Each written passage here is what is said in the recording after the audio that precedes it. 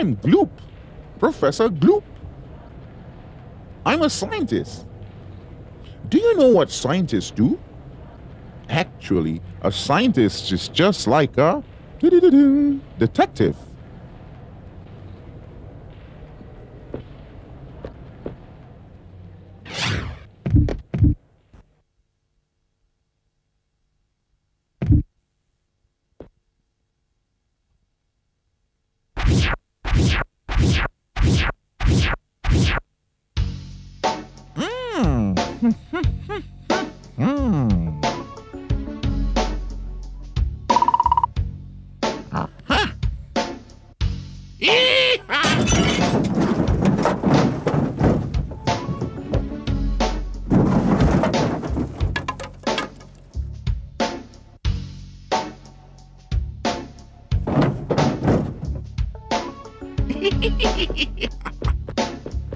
In order to solve a problem, a scientist searches for clues. Then he or she pieces together all the clues or evidence, and presto, it's solved. A scientist gathers clues by carrying out a series of experiments.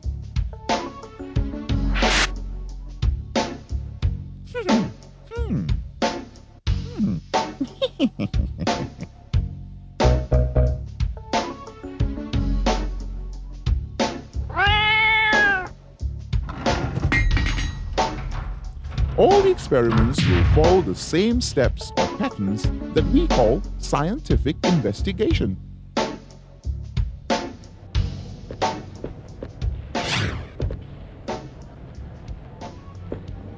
Come on, let's go over to my lab. That's the place that I work in.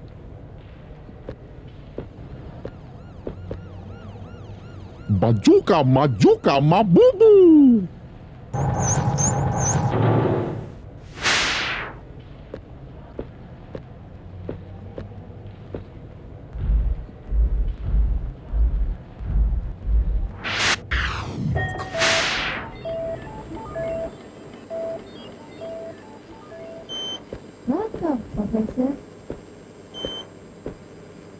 Welcome to my lab.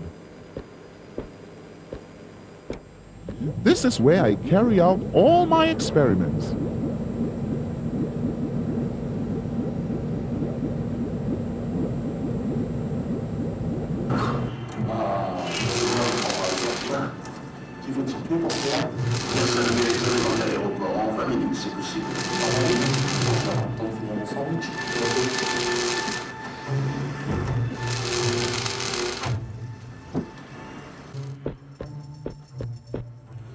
Hi there.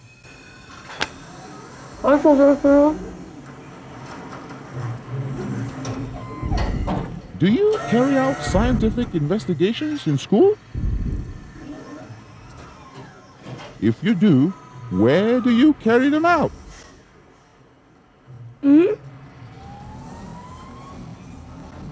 Okay, let's carry out an experiment and identify all the steps in this scientific investigation. Steps in scientific investigation.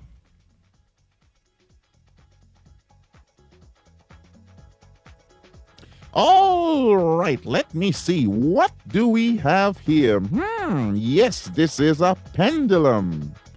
A pendulum has a string and a bob at the end. This pendulum is now in its resting position here.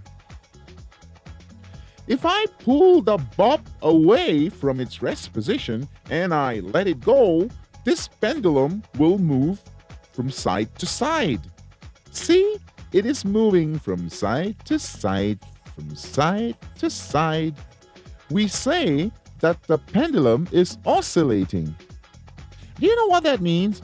An oscillation means the movement of the pendulum from point A to point B and back again to point A. The time taken for one oscillation is called a period.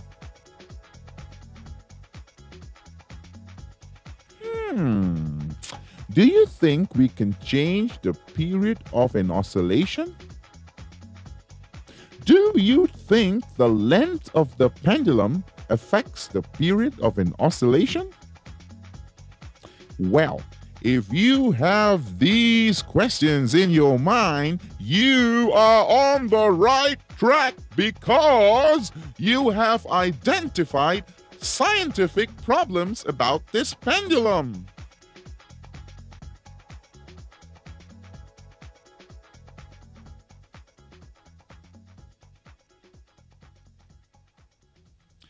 Make a smart guess as to what the answers to these scientific problems are? If you have made a smart guess based on these problems, you have formed what we call a hypothesis. A hypothesis may be true or it may be false. If you want to know whether your hypothesis is true or false, you have to do an experiment. Let's make a hypothesis. Hmm, let me see. When the length of the pendulum is increased, the period of an oscillation also increases. That's the hypothesis. Now, let's do a little test to see whether this hypothesis is true or false. Come on, follow me. Come on.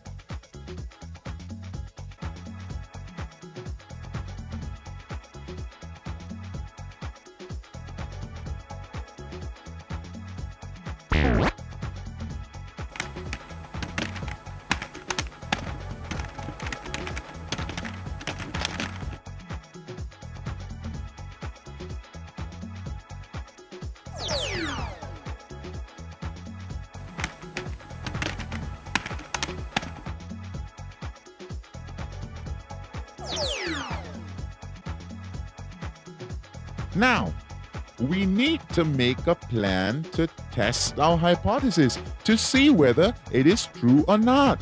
Remember, our hypothesis says that the period of an oscillation increases when the length of the pendulum increases. Okay, let's plan our experiment. Before we can carry out this experiment, we have to identify and control all the variables involved. Can you identify all the variables involved in this experiment?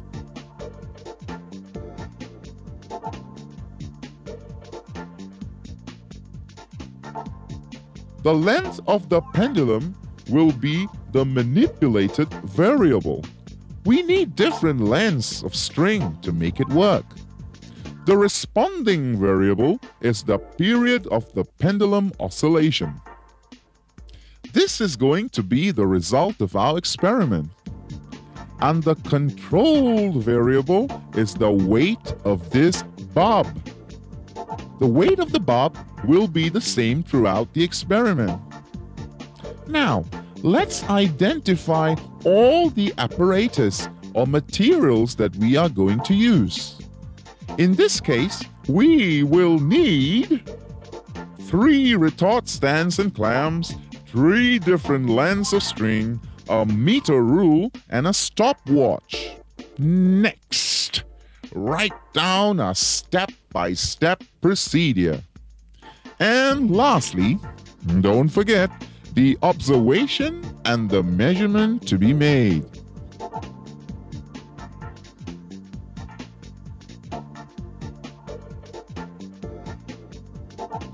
Now, are we ready to conduct the experiment? Are you all geared up? Let's do it! Yes, sir.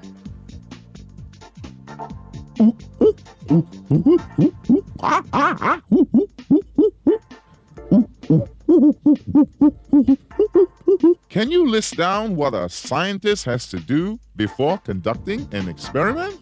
First, he or she has to identify the scientific problem. Second, he or she has to form a hypothesis.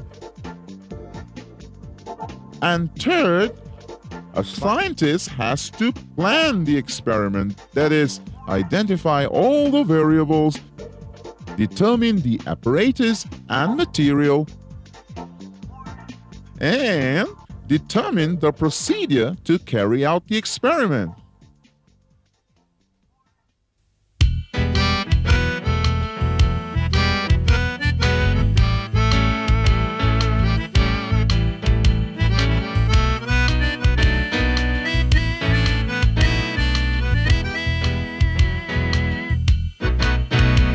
When to wonder, burning questions fill his mind. He probes on in and under the answers he does find.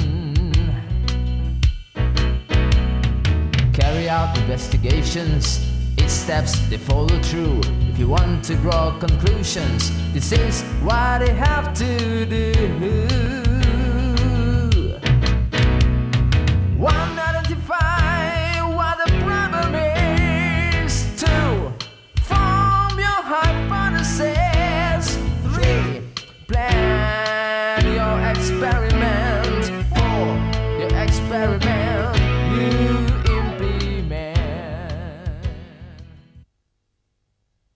Now, we are ready to carry out this experiment.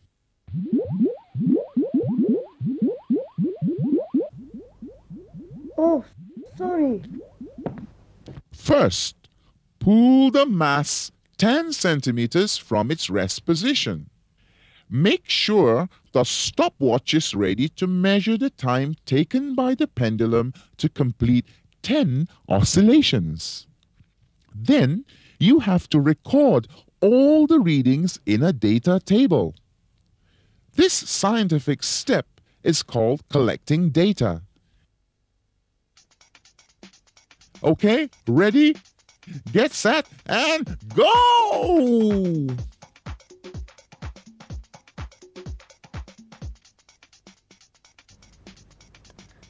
Eighteen seconds. Hmm. It seems that this pendulum needs 18 seconds to complete 10 oscillations. Don't forget, my friends, you must record all the readings in the data table. To ensure the results you get are accurate, you have to repeat the test at least three times and calculate the average of the three readings. Now, let's repeat the experiment. Remember, this is our second try.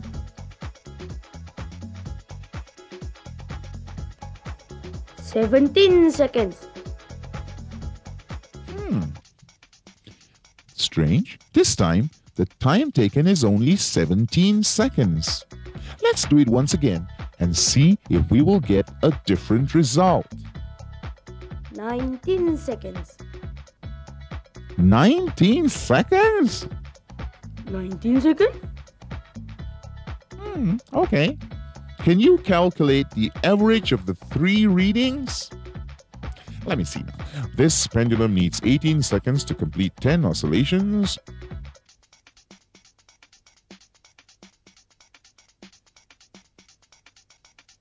Now, can you calculate the period of oscillation of this pendulum? The period of an oscillation for this pendulum is 1.8 seconds. Now, let's observe whether the other two pendulums also have the same oscillation period.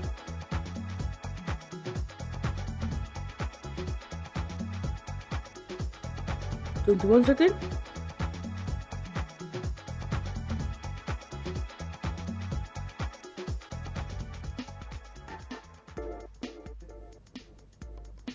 seconds. Twenty-one seconds.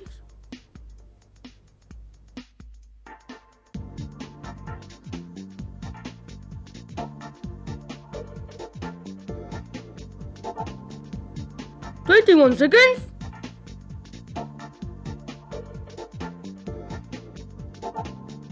Well, the average time taken for the 30 centimeter pendulum to make 10 oscillations is 21 seconds. It means that the period of an oscillation for this pendulum is 2.1 seconds each. the period of oscillation for the 30 centimeter pendulum is higher than the 15 centimeter pendulum. What does this mean? It means that it takes a longer time. Can you guess what the period of an oscillation for the 45 centimeter pendulum will be? Do you think it will be higher or lower than the two pendulums before it? Let's observe.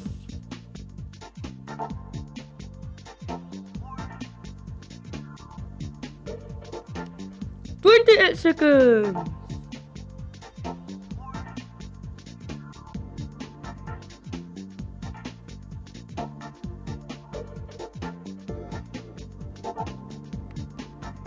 Twenty-nine seconds.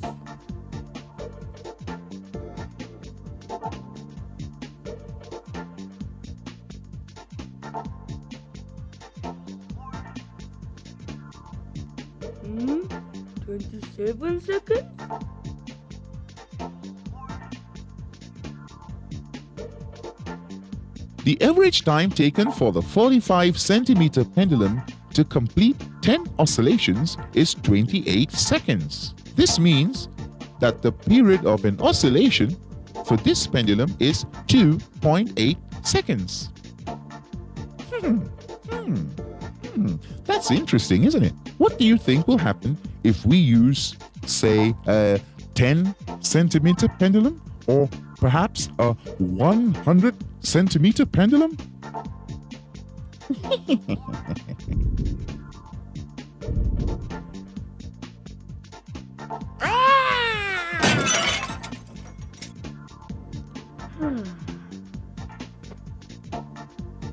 Let's take a look at all the data that you have collected from the experiments. When you record your readings into a data table, you will see that the data follows a certain pattern or sequence.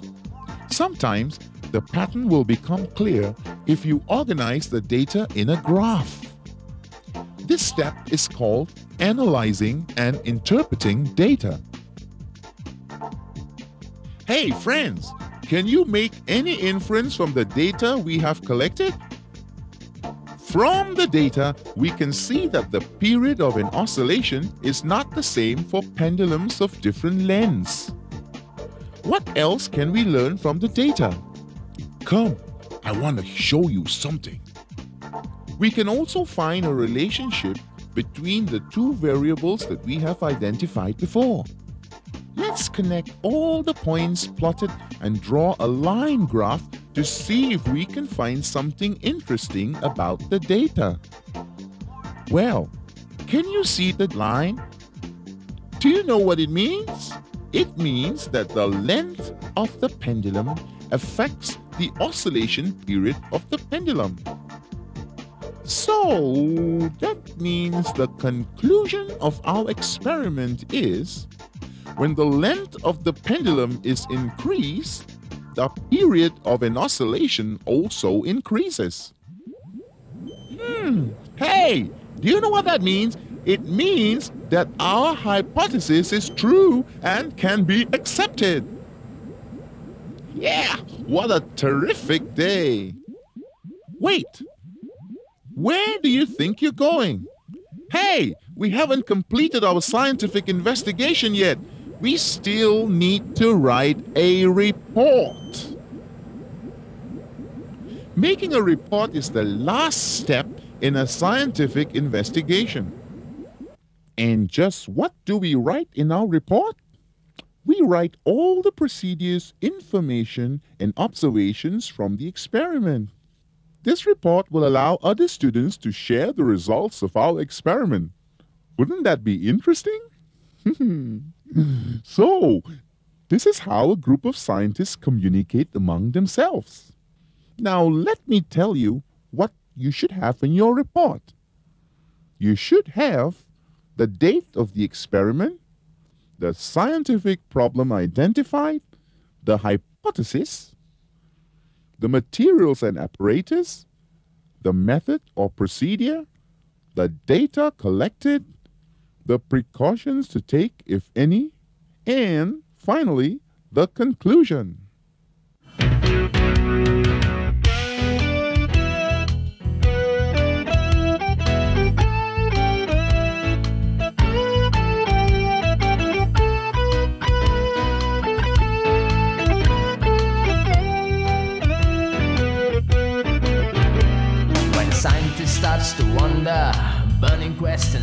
His mind. He probes on in and under till the answers he does find. Carry out investigations. Its steps they follow through. If you want to draw conclusions, this is what you have to do.